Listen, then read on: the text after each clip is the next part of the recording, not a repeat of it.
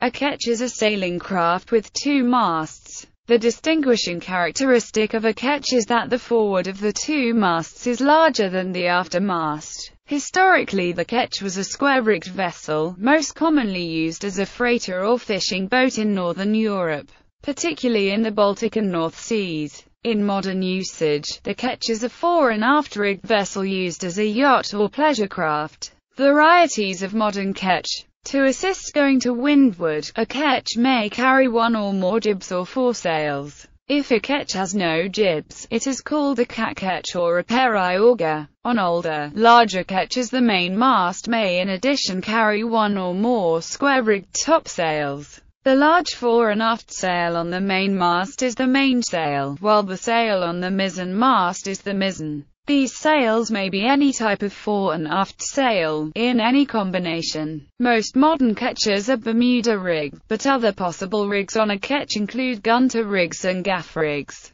The Scots Zulu, for example, had a dipping lug main with a standing lug mizzen. In Northern Europe and among long-distance cruises, the ketch is often preferred to a sloop, since the additional sail allows a better balance and a smaller more easily handled mainsail. An advantage of the ketch is when sudden increases in wind strength require a rapid reefing. The mainsail can be dropped, reducing sail and leaving a balanced sail plan with jib and mizzen set. The ketch rig also allows sailing only on the mizzen and jib, without introducing excessive lee helm, and in an emergency can be quite well steered without use of the rudder. When running before the wind or reaching across the wind, a ketch may set extra sails such as a spinnaker on the main mast, and a spinnaker or mizzen staysail on the mizzen mast. Another advantage of a ketch is at anchor, where the mizzen sail may be used to hold the boat steady in the wind. This reduces roll in an otherwise uncomfortable anchorage. Similar rigs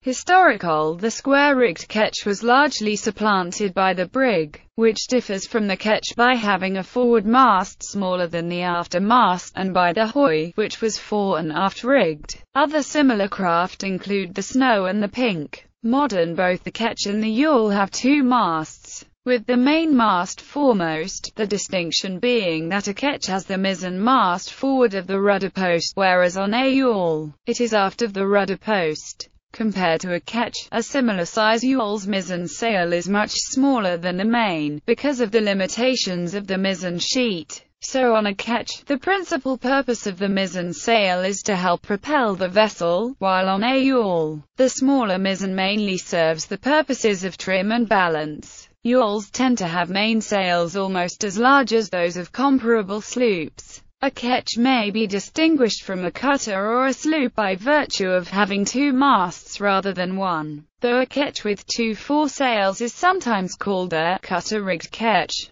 Both the ketch and the yawl differ from the two-masted schooner, whose aft mainmast is taller than the foremast. If a vessel has two masts of approximately the same height, the rig with the larger sail forward is called a ketch, while the rig with the larger sail aft is a schooner. The American two-masted schooner is rare in Europe where the ketch rig is preferred. Derivation of ketch. Ketch was of catch, or fishing boat. The mizzen is bigger than seen on a yawl in order to hold the bow of a boat toward the wind and oncoming waves. The mainsail at the front of the boat would have been dropped and the mizzen trimmed tight on the center line. Set up this way most boats will point directly into the wind in a reliable way. It is also possible to ease the mizzen slightly to allow the boat to move slowly forward. In a fishing boat, this attitude allows the nets to be handled without the boat becoming broadsides to the waves allowing them to break over the sides of the boat. Fish nets can then be handled without putting the boat at risk.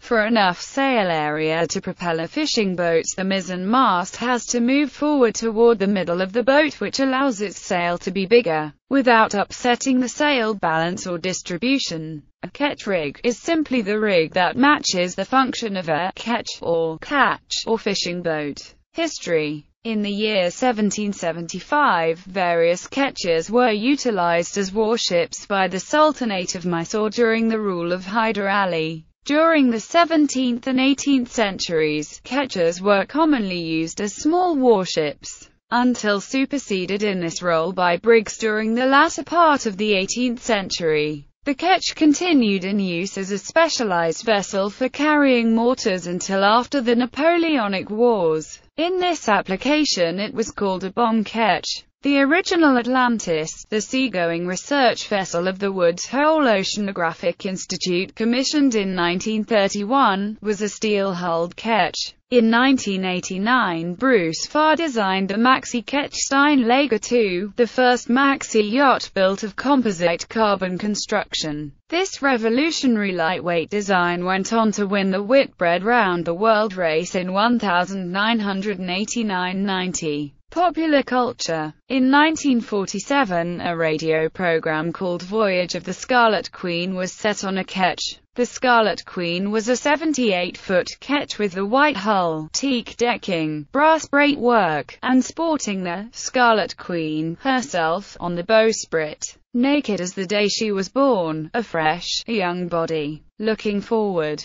bold, teasing, dressed in only a crown, and painted brilliant red. A William Garden designed Formosa 51 ketch named Wanderer was the main setting in the 1992 film Captain Ron. Three Formosa 51s were used in filming.